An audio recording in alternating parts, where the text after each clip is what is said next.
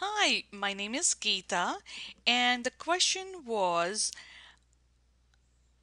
that you purchased a product and later on received a refund for the same product you had purchased.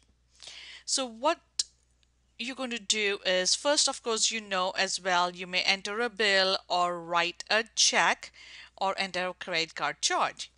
Well, if so, Uh, then that's fine when you purchased it, but now you received the money back. If it was on a bank account, then all you have to do is go to banking, make deposits,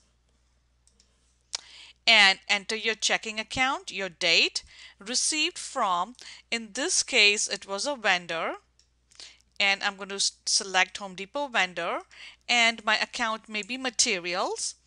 If you're using the class, enter it in and the dollar.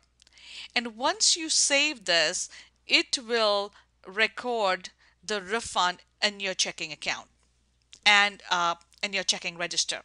Well, if you have any questions, give us a call and uh, hope you find it helpful.